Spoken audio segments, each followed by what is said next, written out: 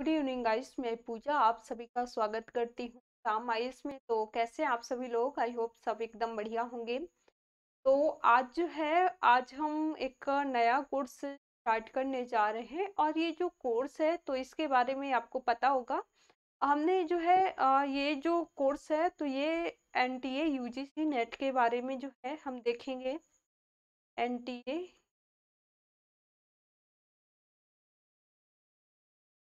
Net के बारे में हम देखेंगे।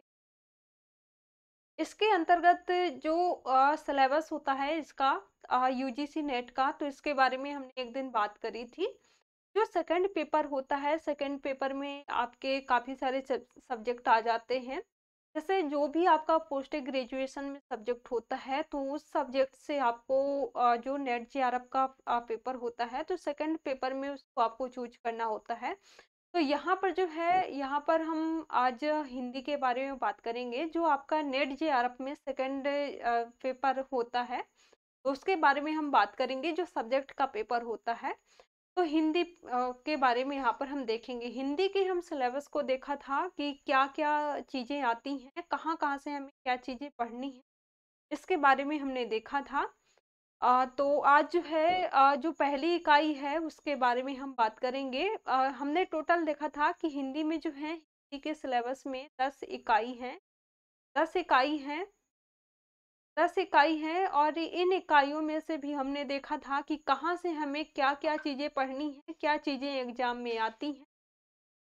तो यहाँ पर जो है आज हम देखेंगे पहली इकाई जो है पहली इकाई के अंतर्गत आ जाता है हिंदी भाषा और उसके विकास के बारे में। हिंदी भाषा का विकास कैसे हुआ है और क्या चीज़ें रही हैं के बारे में।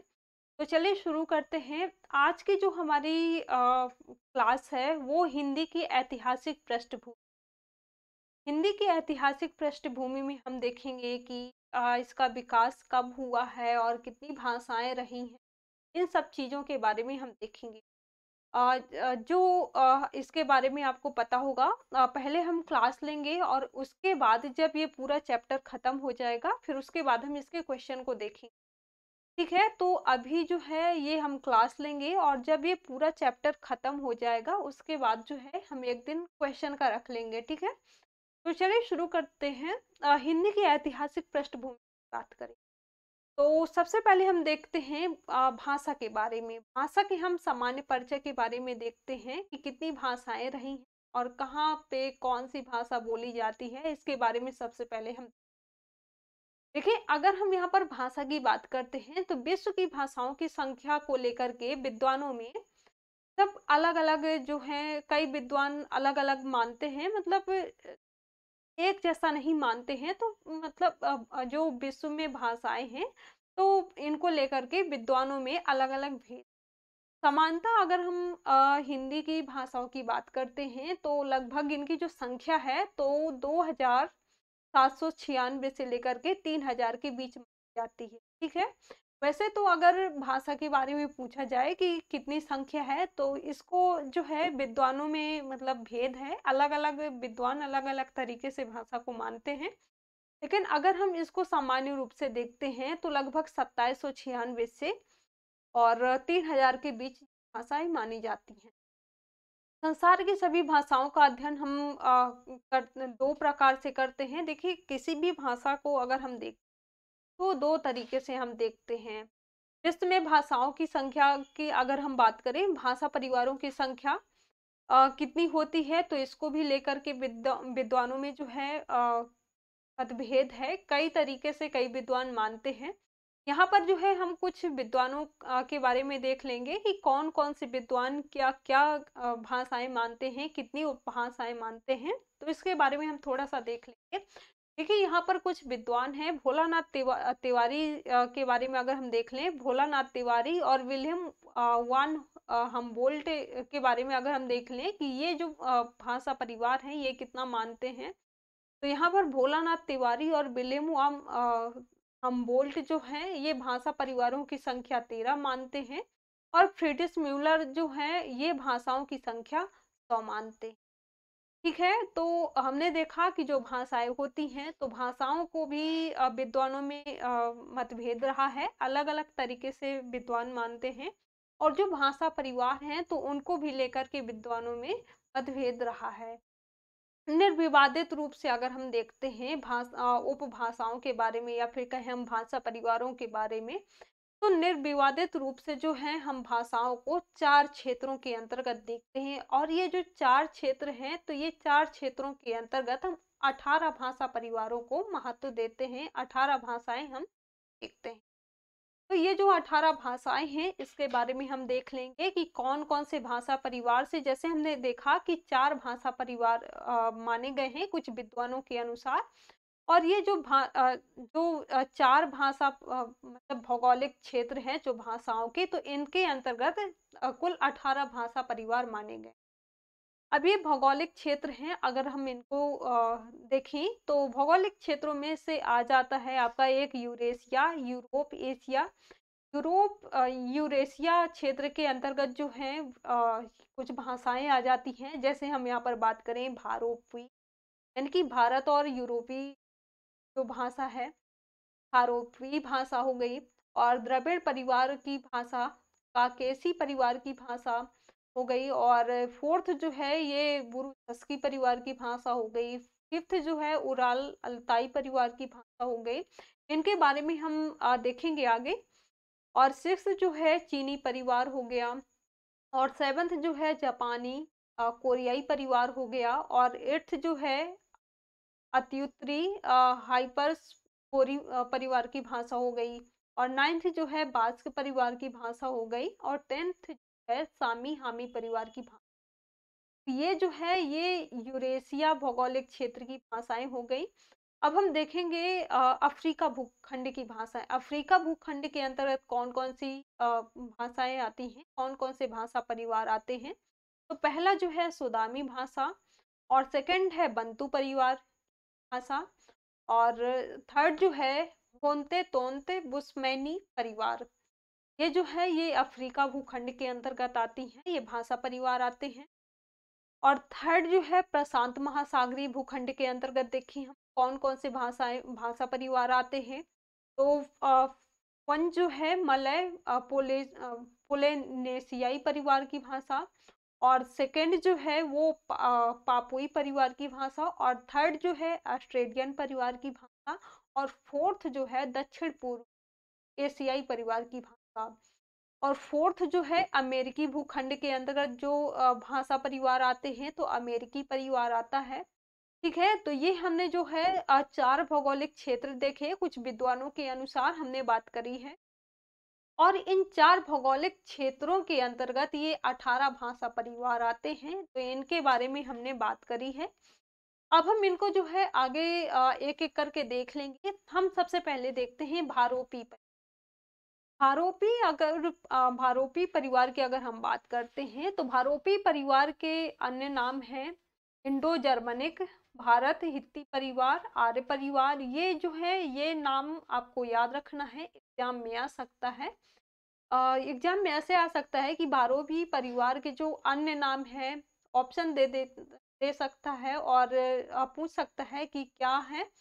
ये जो नाम है, इंडो जर्मनिक भारत हित परिवार, आर्य परिवार, ये आपको याद रखना है भारोपी भारोपी परिवार के अंदर। आगे हम बात करें ध्वनि के आधार पर भारोपी परिवार की अगर भाषाओं की बात करें तो ध्वनि के आधार पर आ, कुल दस भारोपी परिवार की भाषाएँ होती हैं। इनको हम दो वर्गों में बांट करके देखते हैं। पहला जो है सतम वर्ग और सेकंड है केतु वर्ग। सतम वर्ग के अंतर्गत कौन कौन सी भाषाएँ आती हैं? तो इसके अंतर्गत भारत ईरानी आर्य भाषा, इसके अंतर्गत हम देखें तो इसे भी तीन भागों में डिवाइड किया गया है, ईरानी, दरद और भारती भारती। इसमें जो है फारसी, पहलवी, ईरानी, पश्तो अवेस्ता बलोची, पामीरी, ये भाषाएँ आती हैं। बाल्टो स्लामिक महारूसी यूक्राइनी, चेक, स्लोवाक, बुल्गारी, पोली और सर्वो, क्रोती स्लोवेनी ये जो है इसके अंतर्गत आती हैं। ये चीज़ें जो है आपको ध्यान रखना है, ये ज़्यादा आता नहीं है, ये ज़्यादा नहीं पूछा जाता है, लेकिन फिर भी आपको इसके बारे में नॉलेज रखना है, ठीक है? आगे हम बात करें भारतीय आर्य भाषाएँ और हिंदी आर्य भाषा। ये जो चीज़ें हैं, ये आपको ज़रूर याद रखना है, एग्ज़ाम में आ सकता है और पूछा भी जाता भारतीय आर्य भाषाएँ और हिंदी भाषा की अगर हम बात करें तो अध्ययन की सुविधा की दृष्टि से भारतीय आर्य भाषाओं को 3500 वर्षों के विकास क्रम को हम देखते हैं। तो इन्हें हम तीन चरणों में विभाजित करते हैं तीन तीन चरणों में देखते हैं। पहला चरण जो है पहले चरण में देखेंगे और इसकी भाषा को देखेंगे और इसका जो कालक्रम है, कब से कब तक रहा इसके बारे में देखेंगे। तो पहले चरण के अंतर्गत जो पहली भारतीय भाषा है, वो आ जाती है प्राचीन आर्य भाषाएँ। इसका जो टाइम पीरियड है, वो 1500 से 1500 ईसा पूर्व से 500 ईसा पूर्व माना जाता है। और इसके अंतर्गत जो दो भाषाएँ आती हैं प्राचीन भारतीय आर्य भाषाएँ इनको हम एक एक करके देखेंगे। प्राचीन भारतीय आर्य भाषाओं के बारे में देखेंगे और मध्यकालीन आर्य भाषाओं के बारे में देखेंगे कि कौन कौन सी भाषाएँ आती हैं और ये जो पाली प्राकृत अपभ्रंश तथा औहट, ये जो भी जितनी भी भाषाएँ हैं तो इनको भी हम एक एक करके आगे देखेंगे, ठीक है? और थर्ड जो है, आधुनिक कार्य भाषाएँ, इसके अंतर्गत भी जो भाषाएँ हैं, इनको भी हम आगे एक एक करके देखेंगे। तो सबसे पहले हम बात करते हैं प्राचीन आर्य भाषा। प्राचीन आर्य भाषाओं का जो टाइम पीरियड है, वो 1500 ईसा पूर्व से पाँच सौ ईसा पूर्व है और इसके अंतर्गत दो भाषाएँ आती हैं, पहली जो है वैदिक संस्कृत और सेकंड जो है वो लौकिक ठीक है? वैदिक संस्कृत और लौकिक और सेकंड जो है मध्यकालीन आर्य भाषाएँ। मध्यकालीन आर्य भाषाओं का जो टाइम पीरियड है वो 500 ईसा पूर्व से 1000 भी माना गया है और इसके अंतर्गत चार भाषा आती हैं। चार भाषाओं में से हो गया जैसे आपका पाली, प्राकृत, अपभ्रंश और अवहट ठीक है? तो इसके बारे में भी हम आगे एक एक करके इनको हम देखेंगे, ठीक है? आधुनिक आर्य भाषाओं के अंतर्गत आ जाता है आपका हिंदी, बंगला, उड़िया, मराठी, गुजराती, पंजाबी, सिंधी आदि ये जो है आधुनिक आर्य भाषाओं के अंतर्गत आ जाता ठीक है? और इसका जो टाइम पीरियड की अगर बात करें तो इसका टाइम पीरियड जो है एक हज़ार से लेकर के अब तक का माना गया, ठीक है?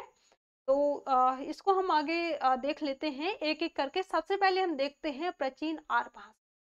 प्राचीन आर भाषाएँ हमने देखा कि दो होती हैं, वैदिक भाषा और लौकिक भाषा ठीक है?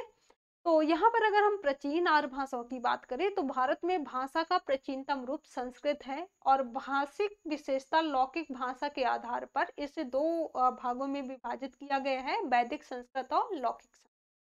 वैदिक संस्कृत और लौकिक संस्कृत। सबसे पहले हम अगर बात करें वैदिक संस्कृत की तो इसे हम प्राचीन संस्कृत भाषा भी कहते हैं। वैदिक संस्कृत को ये जो चीज़ें हैं आपको बिल्कुल ध्यान रखना है। आ सकता है, एग्ज़ाम में और पूछा जाता है। तो वैदिक भाषा जो है, इसे प्राचीन संस्कृत भाषा भी कहते हैं। इस भाषा में वेद, वेदांग, ब्राह्मण, आरण्यक, उपनिषद लिखे जाते हैं। ये यहाँ पर जो है, बहुत महत्वपूर्ण हो जाता है। एग्ज़ाम में पूछ सकता है कि वैदिक भाषा जो है तो वो कौन सी भाषा मानी जाती है? तो ये प्राचीन संस्कृत भाषा मानी जाती है और सबसे जो यहाँ पर महत्वपूर्ण हो जाता है वो ये कि इसे, इस भाषा में वेद, वेदांग, ब्राह्मण और अरण्यक उपनिषद ये जो है लिखे जाते हैं। ठीक है?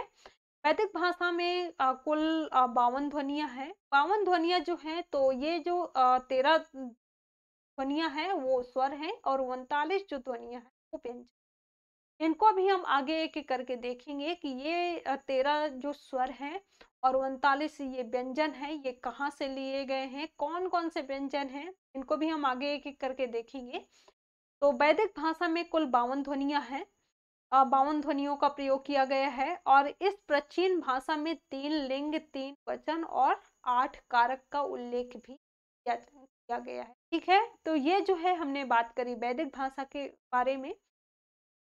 सबसे जो महत्वपूर्ण बात है, आपको ये यहाँ पर याद रखना है, वेद, वेदांग, अरण्यक और ब्राह्मण उपनिषद, ये चीज़ यहाँ पर इसके अंतर्गत बहुत महत्वपूर्ण। आगे हम बात करें लौकिक भाषा की। तो अगर हम लौकिक भाषा की बात करते हैं तो भाषा में भाषा विकास में वैदिक संस्कृत के बाद की अवस्था लौकिक संस्कृत भाषा कहलाती है। और इस भाषा को संस्कृत या क्लासिक भाषा भी कहते हैं। संस्कृत या क्लासिक संस्कृत भी कहते हैं। लौकिक भाषा का भाषिक विवेचन सर्वप्रथम पाणिकृत अष्टाध्यायी में मिलता है। ये चीज़ जो है, ये यहाँ पर बहुत महत्वपूर्ण हो जाती है। इस भाषा में जो है, रामायण, महाभारत, अर्थशास्त्र नाट्यशास्त्र और अभिज्ञान शकुंतलम, कादम्बरी आदि प्रसिद्ध रचनाएँ लिखी गई हैं। यहाँ पर जो है ये चीज़ बहुत महत्वपूर्ण हो जाती है, एग्ज़ाम में आ सकता है, ठीक है? आगे हम बात करें वैदिक संस्कृत की, अगर ध्वनियों की बात करें तो वैदिक संस्कृत की चार ध्वनियों के लुप्त होने से लौकिक संस्कृत में 48 ध्वनियाँ ही शेष रह गई हैं, ठीक है? तो ये जो है हमने लौकिक भाषा के बारे में बात करी। अब हम बात करते हैं मध्यकालीन भारतीय आर्य भाषा हमने देखा था कि मध्यकालीन आर्य भाषाओं के बारे में हमने देखा था पाली, प्राकृत, अपभ्रंश और हट्ट के बारे में हमने देखा था। तो इनको जो है हम एक एक करके देख लेंगे। सबसे पहले जो है हम देखेंगे पाली के बारे में कि इसका विकास कब हुआ है और कैसे हुआ है, इसके बारे में सबसे पहले हम देखेंगे। फिर आगे हम एक एक करके ये जो चारों भाषाएँ हैं, मध्यकालीन भारतीय आर्य भाषाओं की, इनको हम देखेंगे। ठीक है? तो आ, सबसे पहले अगर हम पाली की बात करें तो पाली जो है ये आ, पाली मध्यकालीन आर्य भाषा की प्रथम अवस्था है। पाली शब्द की उत्पत्ति के संदर्भ में भी विद्वानों में मतभेद है। अलग अलग तरीके से कई विद्वान मानते हैं। पाली को जो है पल्ली से पाली शब्द की व्युत्पत्ति हुई है। ये ऐसा भी माना जाता है कि पाली की जो उत्पत्ति है वो पल्ली से हुई है। पल्ली से हुई है। और पल्ली का जो अर्थ होता है ग्राम, इस प्रकार पाली का अर्थ जो हुआ, वो ग्रामीण है। ये चीज़ यहाँ पर आपको याद रखनी है। कुछ विद्वान ऐसा भी मानते हैं कि पल्ली को प्राकृत का तत्भव रूप कहते हैं। उनके अनुसार प्राकृत से पहले पायल तथा अंत में पाली हुआ है। कुछ विद्वान ऐसे भी मानते हैं। पाली शब्द की उत्पत्ति जो है, पाटली यानी कि पाटलिपुत्र से भी मानी जाती है। इन, इस संदर्भ में भी पाली का अर्थ मगध की भाषा हुआ। कुछ विद्वजन जो है, वो पाली को पाठ और रूपांतरित शब्द मानते हैं। इनको जो है, हम आगे देखेंगे कि पाली की उत्पत्ति जो है, कैसे कौन कौन से विद्वान किस तरीके से इसको मानते हैं। पाली शब्द का एक संबंध पंक्ति से भी माना जाता है और बुद्ध वचनों में जो पंक्तियाँ प्रयुक्त की गई हैं, उन्हें भी पाली कहा जाता है। ठीक है? कुछ विद्वान जो हैं, पाली को, बौद्ध साहित्य को पालने वाली या रक्षा करने वाली भाषा भी मानते हैं। ये चीज़ यहाँ पर महत्वपूर्ण हो जाती है पाली भाषा के अंतर्गत। ये चीज़ भी आपको याद रखना है। आगे हम देखेंगे कि जैसे हमने देखा कि पाली जो भाषा है तो इसको कई विद्वान अलग अलग तरीके से मानते हैं। कुछ विद्वानों के यहाँ पर नाम दिए हुए हैं तो कुछ विद्वानों में से जैसे हम देखें कि विधु शेखर भट्टाचार्य जो है तो पाली की जो व्युत्पत्ति है, उत्पत्ति है, वो कैसे मानते हैं? तो मधुशेखर भट्टाचार्य कहते हैं कि पाली की जो उत्पत्ति है, वो पंकित पंकित पंकित से पंथी और पंथ से हुआ पत्ती पत्ती से पट्टी पट्टी से पल्ली और पल्ली से पाली। इस प्रकार से जो है मधुशेखर भट्टाचार्य कहते हैं कि ऐसे जो है पाली की उत्पत्ति हुई नेक्स्ट वाले सर क्या कहते हैं कि पाली की जो उत्पत्ति है वो पाटली से पाड़ली बना और पाड़ली से पायली बना और पायली से जो है वो पाली की उत्पत्ति। भिक्षु जगदीश कश्यप कहते हैं कि पाली की जो उत्पत्ति है वो पर्याय पर्याय से पहले पालियाय बना पालियाय से पालियाय और पा, पालियाय से फिर पाली की उत्पत्ति। भंडारकर व वाका वाकर नागल नागल कहते हैं कि पाली की जो उत्पत्ति है, वो प्राकृत प्राकृत से पाकट बनी, पाकट से पाड़ बनी, पाड़ से पाउल बनी और पाउल से पाली बनी। भिक्षु सिद्धार्थ कहते हैं कि पाली भाषा की जो उत्पत्ति है तो पाठ से पांट बनी पांड से पांटी बनी और पांड से पाली बनी। कौशाम्बी कहते हैं कि पाल से पाली बनी। उदय नारायण तिवारी कहते हैं कि पा प्लस प्लस ली से इसकी उत्पत्ति पाली की। ठीक है? तो ये हमने जो है देखा पाली भाषा की उत्पत्ति की, उत्पत्ति के बारे में कि कई विद्वान जो हैं वो अलग अलग तरीके से मानते हैं। तो आगे हम बात करें बौद्ध धर्म से संबंधित। ये तीनों जो महत्वपूर्ण ग्रंथ हैं वो भी पाली में लिखे गए हैं। कौन कौन से? सूत्र, पिटक, विनय पिटक और अभिधम्य सूत पिटक जो है तो सूत पिटक बुद्ध के उपदेशों का संग्रह है। इसके अंतर्गत जो है, पाँच निकाय आते हैं। ये जो है, आप लोगों ने हिस्ट्री में पढ़ा होगा।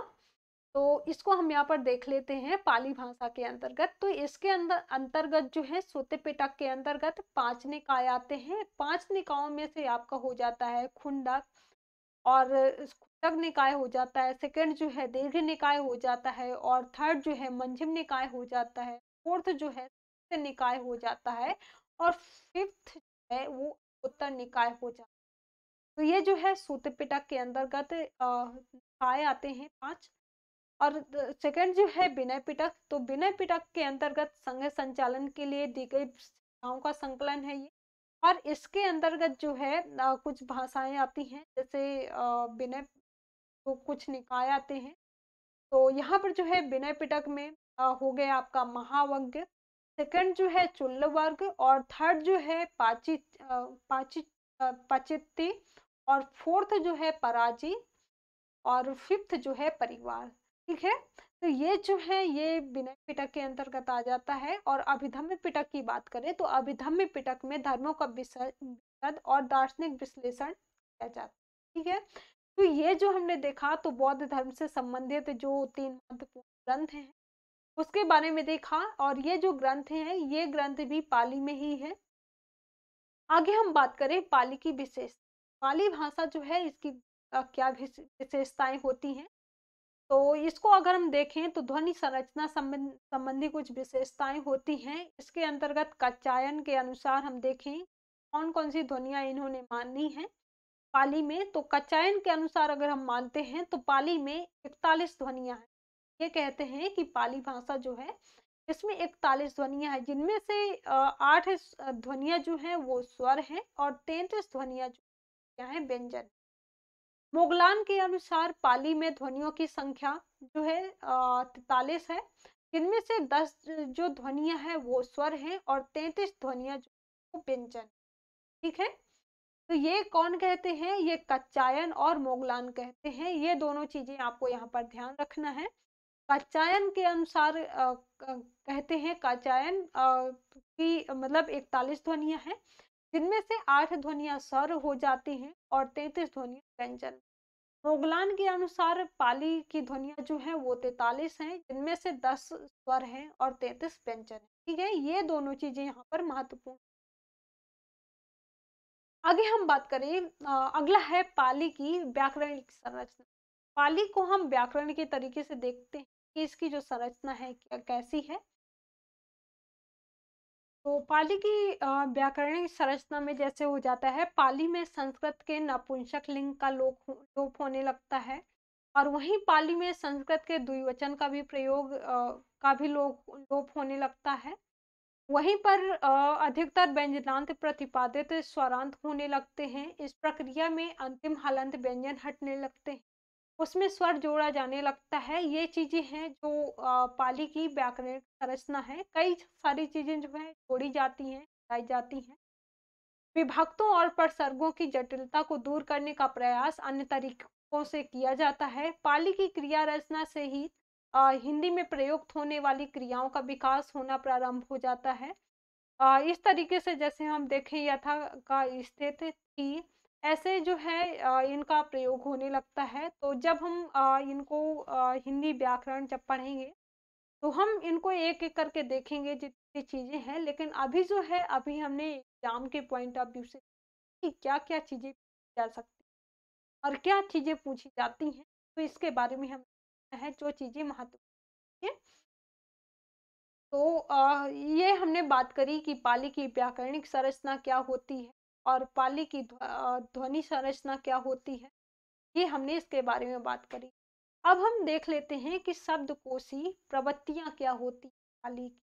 तो शब्दकोशी प्रवृत्तियों की अगर हम बात करें तो पाली की शब्द संपदा का मूल आधार स्वाभाविक रूप से तद्भव शब्द है। ठीक है, ये जो चीज़ है, ये याद रखना है स्थानीय व देशा शब्दों का विकास तेज़ी से हुआ है। जैसे हम देखें, यथा धड़, स्त्री पप का पिता और ढेकड़ी का ढक्कन। ये जो है स्थानीय देशज शब्दों का विकास तेज़ी से हुआ है इसमें ठीक है? आगे हम बात करें प्राकृत भाषा के बारे में। ये हमने बात करा पाली के बारे में। अब हम बात करेंगे प्राकृत। प्राकृत में अगर हम देखें तो प्राकृत जो है मध्यकालीन आर्य भाषा की भाषा हो, हो जाती है दूसरी अवस्था हो जाती है। इसके बारे में हम आ, मोटे तौर पर प्राकृत का समय अगर हम देखें तो इसका जो समय है एक से 500 सौ ईस्वी तक माना जाता है। प्राकृत के विकास की अवस्थाओं को किशोरी दास वाजपेयी आदि व्याकरणों ने तीन चरणों में बांटा है। और जो तीन चरण है, जैसे हो गया प्रथम प्राकृत प्रथम प्राकृत के अंतर्गत अंतर्गत जो है, प्राकृत प्राचीन प्रचलित जन भाषा मानी गई है। नामी साधु ने प्राकृत के संबंध में लिखा है कि प्राकृत जो है, वो प्राक प्राकृत अर्थात पहले से बनी हुई भाषा ये कौन कहते हैं? ये नामी साधु कहते हैं नामी साधु कहते हैं। इनके बारे में याद रखना है। ये बहुत महत्वपूर्ण यहाँ पर हो जाता है प्रथम प्राकृत के अंतर्गत। द्वितीय प्राकृत जो है तो इसको आ, कुछ विद्वान ऐसा भी मानते हैं कि संस्कृत भाषा के सरलीकरण के कारण प्राकृत भाषा बनी है। ठीक है? हेमचंद्र कहते हैं कि प्रकृति जो है प्रकृति संस्कृत तत्व और भवम तत्व आगत व प्रकृतम अर्थात प्रकृति का मूल संस्कृत है और जो संस्कृत से आगत है वह क्या है? प्राकृत है। ये चीज़ क्या कहते हैं? कौन कहते हैं? हेमचंद्र कहते हैं ठीक है? तो ये चीज़ यहाँ पर बहुत महत्व हो जाती है ये याद रखना है। एग्ज़ाम में आ सकता है कि आ, कुछ विद्वानों के नाम दे सकता है और पूछ सकता है कि किसने क्या कहा है इसके बारे में ठीक है? आगे हम बात करें तृतीय प्राकृत तृतीय प्राकृत के अंतर्गत जैसे प्राकृत के बाद की भाषा अपभ्रंश को कुछ विद्वान तृतीय प्राकृत भी कहते हैं। समान रूप से अगर हम बात करें तो समान रूप से वर्तमान काल में प्राकृत नाम उस भाषा के लिए रूढ़ हो गया है जो ईसवी सन की शुरुआत से पांचवी शताब्दी तक प्रमुख साहित्यिक भाषा प्रचलित रही। कुछ हम यहाँ पर भाषाओं के बारे में हम मान मान लेते हैं देख लेते हैं कि जो प्रा, प्राकृत भाषा है तो इसकी अवस्था क्या रही और कौन से विद्वान इसको और तरीके से क्या मानते हैं? तो प्राकृत की प्रथम अवस्था जो है, पाली है। प्राकृत की द्वितीय अवस्था प्रकृत है और प्रकृत की तृतीय अवस्था जो है, अपभ्रंश। अब हम प्राकृत की विशेषताएँ देख लेते हैं कि इसकी विशेषताएँ क्या कुछ जैसे हमने पाली में देखा, ध्वनि संरचना संबंधी विशेषताएँ देखा और व्याकरण संबंधी विशेषताएँ देखा तो इसकी अगर हम बात करें प्राकृत विशेषता, प्राकृत की विशेषताओं के बारे में तो ध्वनि संरचना संबंधी अगर हम विशेषताओं की बात करें तो प्राकृत की ध्वनि संरचना पाली के समान ही है। हमने देखा इसके बारे में, पाली के बारे में, जो बातें पाली से अलग हैं, वे इस प्रकार हैं। देखिए पाली से अलग क्या है प्राकृत के भेद हैं। कुछ यहाँ पर विद्वान हैं जो अलग अलग तरीके से इसको मानते हैं। जैसे हमने देखा था कि पाली भाषा जो है तो कई विद्वानों ने अलग अलग तरीके से इसकी उत्पत्ति के बारे में बात करी है। तो यहाँ पर हम भरत मुनि की बात करें तो भरत मुनि भरत मुनि जो है ये मुख्य प्राकृत मागधी अव, अवंतिजा और प्राच्या सूरसेनी सौरसेनी अर्धमागधी वाहलिक दक्षिण दक्षिणात महाराष्ट्री। ये जो है ये प्राकृत के भेद हैं। और गौड़ विभाषा साबरी अभिरी चंडाली सचरी रावड़ी ये चीज़ जो है ये यहाँ पर महत्व है। ठीक है? तो आ, हम आगे देखते हैं। अब हम बात करते हैं अपभ्रंश हमने जो है मध्यकालीन आर्य भाषा की दो अवस्थाएँ जो है, पाली और प्राकृत, उसके बारे में हम बात किया। और हम अब जो है, हम देखते हैं अपभ्रंश। अब भ्रंश की अगर हम बात करते हैं तो अपभ्रंश मध्यकालीन और आधुनिक आर्य भाषाओं के बीच है। ये जो है, ये याद रखना है, अपभ्रंश भाषा जो है, वो मध्यकालीन और आर्य सॉरी, आधुनिक आर्य भाषाओं के बीच कड़ी मानी जाती है।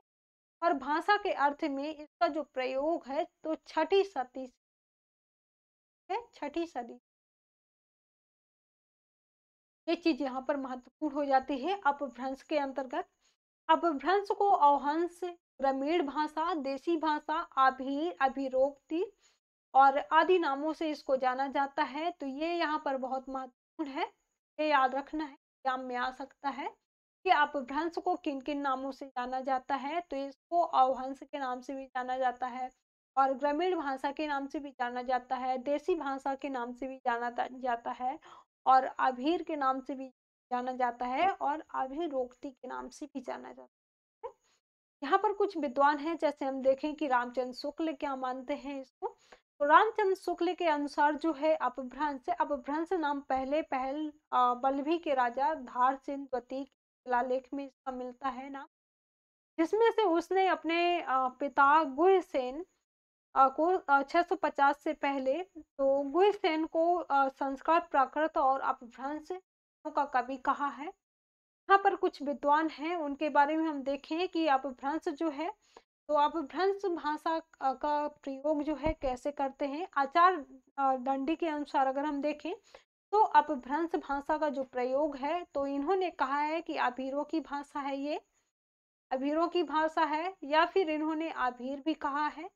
भरत मुनि कहते हैं अपभ्रंश भाषा को अभिरोक्ति कहते हैं, मानते हैं। वाग्य भट्ट और हेमचंद्र जो है ये से अपभ्रंश को ग्राम भाषा कहते हैं। अपभ्रंश को ग्राम भाषा कहते हैं और कीथ जो है तो कीथ अपभ्रंश का संबंध अभीरों तथा गुर्जरों से ठीक है। तो ये चीज़ जो है, ये अपभ्रंश के अंतर्गत बहुत महत्व जाती है। आगे हम बात करें डॉक्टर डॉक्टर हरदेव बाहरी ने सातवीं सदी से ग्यारहवीं सदी तक के समय को अपभ्रंश का स्वर्णकाल भी कहा है। ये चीज़ यहाँ पर महत्वपूर्ण जाती है कि अपभ्रंश का स्वर्णकाल कब और किस तो हरदेव बाहरी ने कहा है और कब कहा है? सातवीं सातवीं सदी से ग्यारहवीं सदी के मध्य जो है इन इन्होंने जब इनका कार्यकाल जो है वो रहा था तो इन्होंने सब कहा, ठीक है? डॉक्टर सुनीति कुमार चटर्जी क्या कहते हैं? सुनीत कुमार चटर्जी और धीरेन्द्र वर्मा जो है, ये कहते हैं कि अपभ्रंश जो है वो भारतीय आर्य भाषा के विकास की एक स्थिति है और इसके अनुसार जो है छह सौ ग्यारहवीं शताब्दी के प्रत्येक प्राकृत का अपना अपभ्रंश रूप रहा है। धीरेन्द्र वर्मा कहते हैं कि धीरेन्द्र वर्मा ये भी मानते हैं कि प्रत्येक प्राकृत जो है तो प्रत्येक प्राकृत की एक अपभ्रंश रही होगी, आशा रही होगी। और इस दृष्टि से वे अपभ्रंशों को पाँच मतलब पाँच प्रकार से देखते हैं, पाँच स्थिति स्वीकारते हैं। पहली जो है सौरसेनी अपभ्रंश और सेकंड जो है, पैसाची अप, पैसाची प्राकृत और थर्ड जो है, मागधी प्राकृत। और फोर्थ जो है, अर्धमागधी प्राकृत और फिफ्थ जो है राष्ट्रीय इन्होंने जो है, ये पाँच स्थिति स्वीकारते हैं अपभ्रंश बारे में। आगे हम बात करें औहट्ट की। ये जो है, मध्यकालीन आर्य भाषा जो है, मध्यकालीन आर्य भाषाओं के अंतर्गत हमने देखा था चार पाली प्राकृत और अपभ्रंश और औहट्ट तो हम बात करें अवहट्ट के बारे में तो अवहट्ट जो है, अवहट्ट भाषा का समय अगर हम बात करें इसके टाइम पीरियड की तो 900 ईस्वी से 1100 ईस्वी तक इसका जो टाइम पीरियड है माना गया है। साहित्य में चौदहवीं सदी तक इसका प्रयोग होता रहा है। अवहट्ट भाषा अवभ्रंश और पुरानी हिंदी के बीच कड़ी मानी जाती है। ऐसा सुनीत कुमार चटर्जी कहते हैं औहट्ट शब्द का सर्वप्रथम प्रयोग जो है तो वो वर्ण रत्नाकर ज्योतिषी ज्योतिषी ऋषर ठाकुर ने कहा है। संदेश शासक मार ने अब औहट का उल्लेख किया है। प्राकृत पेंगलम के टीकाकार वंशीधर की भाषा माना। तो ये जो है औहट के बारे में हम बात करी। आगे जो है हम इसके आगे जो टॉपिक है के बारे में हम बात करेंगे। जो हमने सिलेबस डिस्कस किया था, उसके बारे में हमने देखा था कि कौन कौन से टॉपिक से हमें पढ़ना है कौन कौन से टॉपिक हमको पढ़ना है, कहाँ कहाँ से क्या क्या चीज़ें हमको पढ़नी इसके बारे में हमने बात करी थी। ठीक है तो आज का जो सेशन है, वो हम यहीं तक रखते हैं। आगे मिलते हैं अगले लेक्चर में तो सभी को बाय थैंक